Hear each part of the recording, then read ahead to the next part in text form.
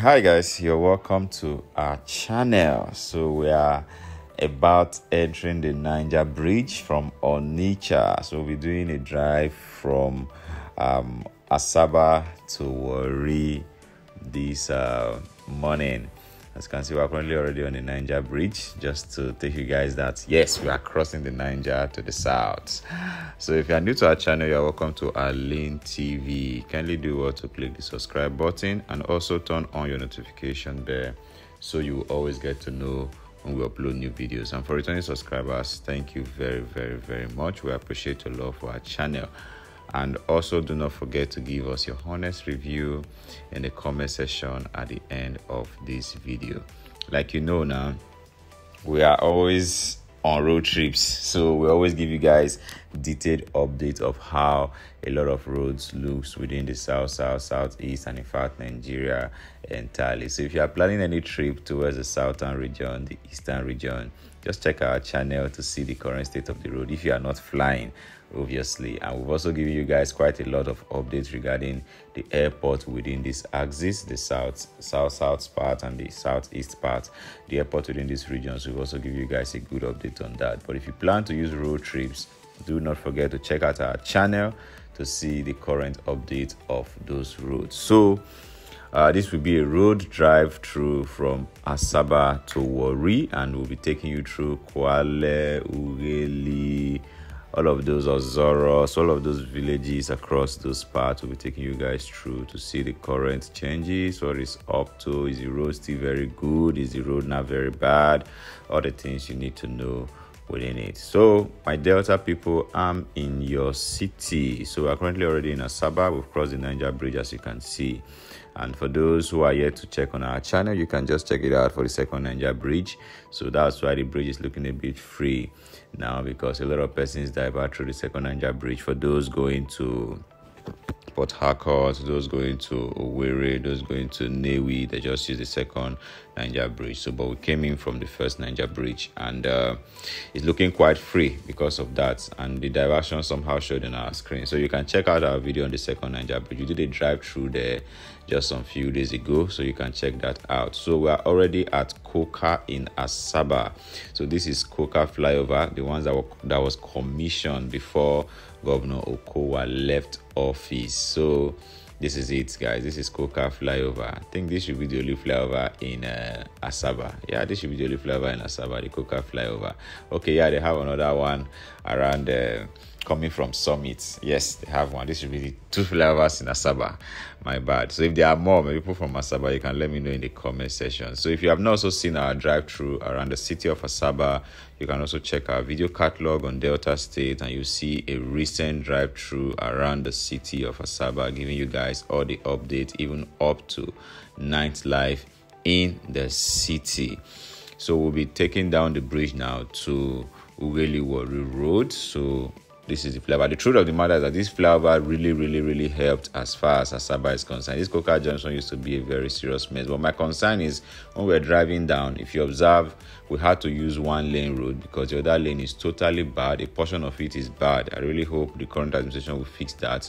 Even some trailers have fallen around that part. So just before the road safety office. I think something needs to be done about that part of the road. If not, it's going to extend, and before you know, it gets towards the Koka Bridge. So that needs to be checked. So we are currently running on the uh, Kwale Warri Road now. So still very much in the Asaba axis of it. So approaching, um, we are heading towards the Admiralty University that was formerly um, the University for the Repentant Militants, but now I think it's accessible by every citizens of Nigeria. So everybody can actually go to that school. So if you are from Delta State, do not forget to rep your location in the comment section. Let us know where you are from as far as Delta State is concerned. And if for adventure we pass through your community while on this drive, also do let us know in the comment section that oh you just drove past my community or even if you pass through your house. There are a lot of persons that are spotted on our videos that oh you drove past my house not too long ago. So you can also let us know if we passed your house along that path. So this part of the road towards um, um, the Admiralty University axis is very good, and uh, not until we do a diversion very soon. The road is very good. The dual lanes are working, and it's looking pretty, pretty clean.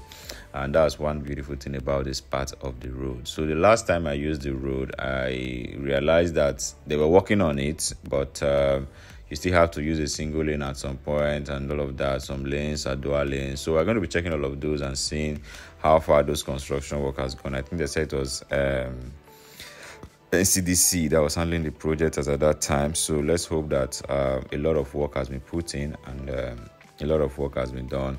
We'll get to that axis. So that is it. So for my people of Delta State, what do you what are you thinking of the current administration? I think they're spending some days already in office. Uh, the new administration, I think uh, Governor Sheriff is the the new governor of Delta State. So how are you guys feeling his impact? And I just saw a publication not too long that is flagging off about four flyovers in Warri. So I think that would be interesting to see why those projects commences. So yeah, this is where we do the diversion now into the Ughelli Warri Road proper. So I think it's from here the construction work has been on. So but we'll be getting all of those updates where we get to Ozoro, get to Ughelli, get to Kwale. All of those updates will be bringing to you. But as you can see around this part now, we are still using our dual lane still looking all clean and good. Uh, there were some portions at the front of it that was looking bad so but we're going to see that pretty soon. I don't know why this guy is driving on one lane. Maybe something is happening at the other side of the road. So we'll just keep it going and seeing how the road update is. I think one thing about Delta State um, from the previous administration, I think a lot of work was done on the road by the previous administration uh, in Asaba precisely and some part of um, Kwale and uh, Agbor Agzi. So a lot of road construction was done, and I think literally almost all streets in Asaba currently are tied by the old administration. That is the Governor Okowa's administration. I think that is highly commendable because um, Delta State seems to have, uh, Asaba precisely seems to have some very, very, very good roads within town.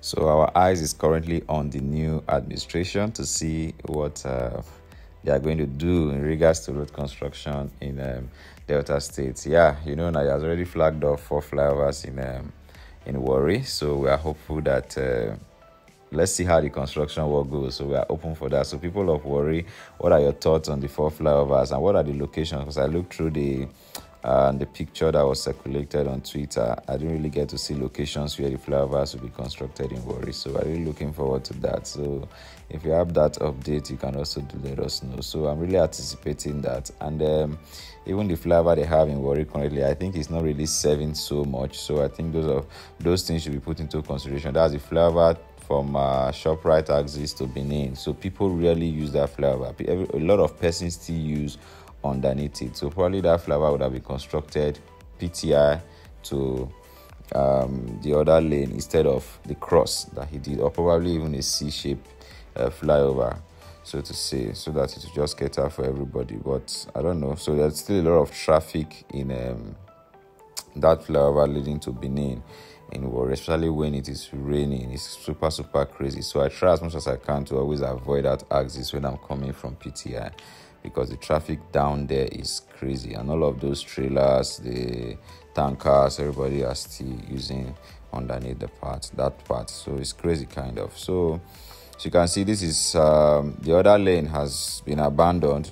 Looking clean in some parts some parts is bad. So we are currently riding on this clean one going to Kwale. And it's a smooth drive all the way from here to Kwale and um, I don't really know if you have the update, you can also do let us know in the comment section from Kwale to uh, Obiaruku. I don't know how clean that road is because we are currently planning a, another trip to Delta that will take us to to Abraka. So we don't really know the road to use. We learned the Agbor Abraka road is bad. So just give us an update if you have any info regarding that road. As you can see, uh, the good part of this road has stopped, so we have to turn back the other lane. So that's how we've just been jumping. So the construction work is not entirely completed on this route. So if you are planning to travel, but at least it is motorable, it is fair to drive on.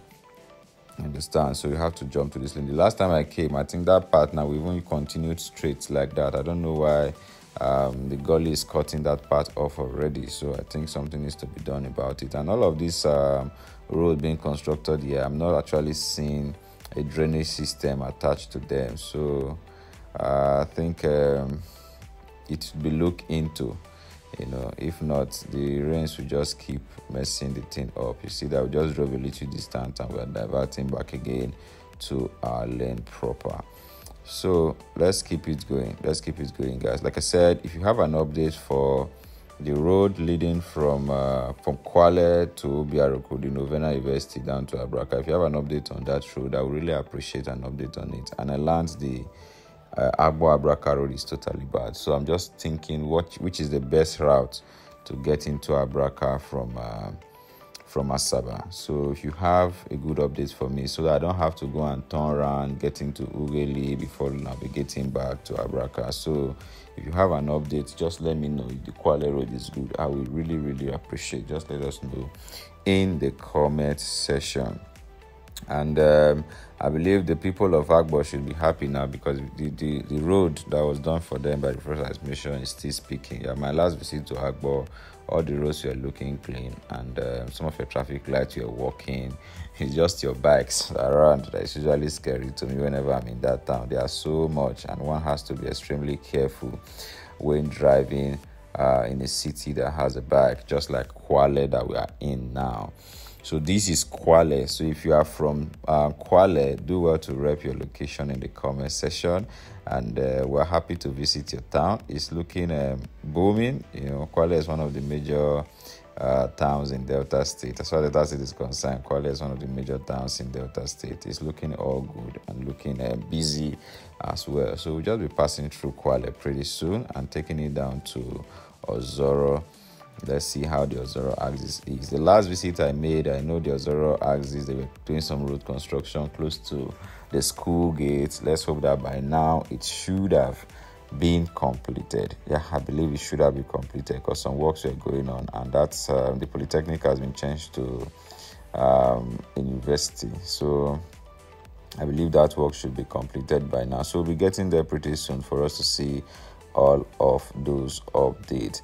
And also, if you are seeing the video, we are coming to Warri. So give me recommendation where I can eat good uh, starch and banga soup. I'm really looking forward to know, whenever I visit any city, I'm keen at eating local delicacies. I'm not in for rice. I'm not in for beans. I really want to taste a lot of local delicacies. And it's been a while. I, I ate starch. You know. And for those who don't know, I actually graduated from Delta State University, Abraka. So I'm more or less like a son of the soil, you know, before a lot of stuff took us to the east. So this is my region, you know. So I really, I would really love to eat starch and banga soup again. It's been a very, very, very long time. The ones we prepare in uh, the east is not like the banga soup in in Delta states. So let me experience the banga soup in Delta State again before I take my leave. So give me your recommendations. Oh, I know AJ in Airport Road. I know a lot of people want to say AJ, but give me some local spot that you know that that mama can just put it inside a native pot and this team will be looking all good for me. So we are already in Kwale in um, Ozoro right now. So you can see that the road by the campus has been done. So the road drive from Kwale to Ozoro is pretty clean no issues at all. So that is the school gate over there. So this road is newly constructed and I hope it is completed to the down part of this road because I remember my last visit to have to divert again and divert again to do two diversions before we finally left um, Ozoro axis towards the roundabout taking us to Oleh.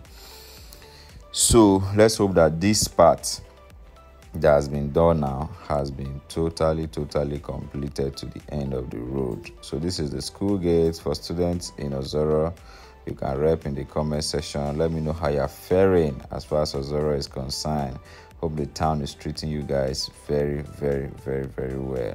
So if you are still seeing our video and you are not yet a subscriber please do well to hit the subscribe button. Get us to 15000 subscribers so you always know we upload new videos you know. And for returning subscribers thank you very much. We do appreciate. So we thought the road would continue at this point but we realized the construction work ended there so we had to turn you know. So we didn't know. For those who knows the drill. Everybody was just turning. So for us, we didn't know, so we had to drive to that point, made a turn, and we joined back the single lane road. So I don't really know what is taking them so long to complete this part of the road.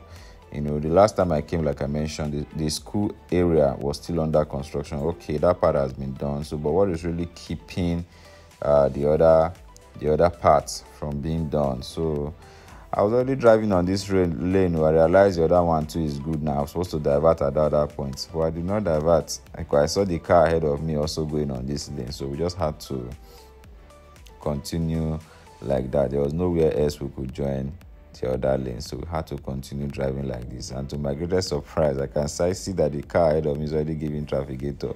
His traf- traffic trafficator is already on. I think he's diverting out of the road. So we had to continue on this lane. I also saw some trucks over there still working on this part. So, but let's hope that upon our return, some good work must have been done. That's if I return through this part again, you know. So, but let's keep it going. This is Ozoro. It's still very, very much busy, and the school, they, I think they are on session. So, a lot of activities um, still going on around the school.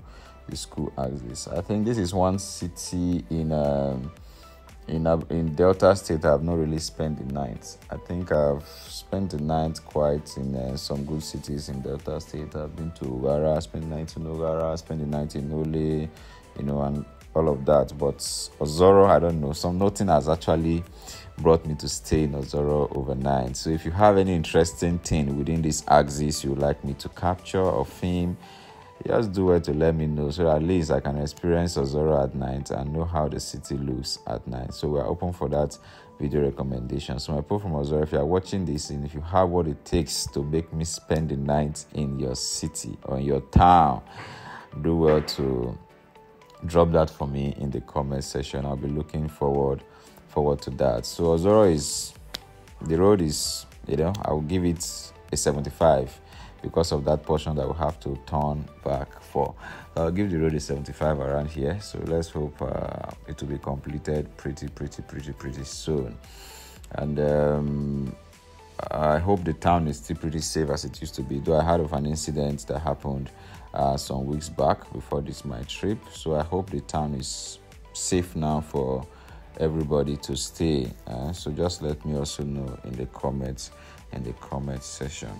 So this is the end of the road. This spot has been bad for a very, very long time. The spot has remained like that for a very, very long time, and um, nothing has been done about it. So, but no issues. We keep it going. So now we'll be joining the. We'll be approaching the. Uh, what was it called? The roundabout in uh, leading to Oleh. Now we are heading to Warri. So after the roundabout leading to Oleh, there was an incident there. So a lot of police presence, a lot of um, soldier presence are there. So you can't really video them very well. So but we have to join this lane now going to Ughelli. So and this Ughelli road, this construction work for the dualization of this road has also been on for a very long time.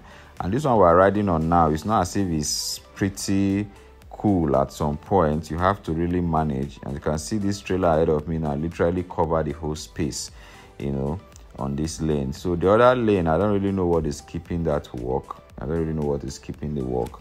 But that construction work has been on. I think um i'll be shuttling these roads I shuttled it very well 2015, 2016, 2017, 2018, 2019. I think in 2019, literally every week, I was using that road. So, and um, no much difference till now. So, I'm quite um, surprised that nothing much has actually been done on that dualization part. But this part of the road, the dualization work is going on well. So now you can see that we have to join our own lane, and the dualization work is yeah. So from here, you have a dual drive till you get to Ughelli. So we'll be busting out at Ughelli very soon. So let's um, see a view of how Ughelli is. So if you are from Ughelli as well, do well to rep your location. I really flex your town. Like, you know, I've I've I've stayed in Ughelli. You know, I enjoyed your town very well when I was frequently visiting in 2018, 2019. and even part of 2020. It was quite an interesting stay. So at this point, it was about to rain. I was like, "Whoa, this rain does not want me to complete this video." So I was actually praying in my heart that the rain should stop, but uh, God helped us, and the rain stopped. So this is still the construction work going on along the uh, Ozoro um, Ughelli Road, and uh, you can see that the drainage system are still under construction. Some part has been done, some part has not been done, but the road has been constructed. So I think those are some of the construction uh, errors that usually happen in most of this road construction. I think we experienced that uh, between Enugu and the Awka border where the road was already done before the drainage system started. And when the drainage was done, it was higher than the road, and they had to start scraping all over again. So, welcome to Ughelli, my people. This is Ughelli.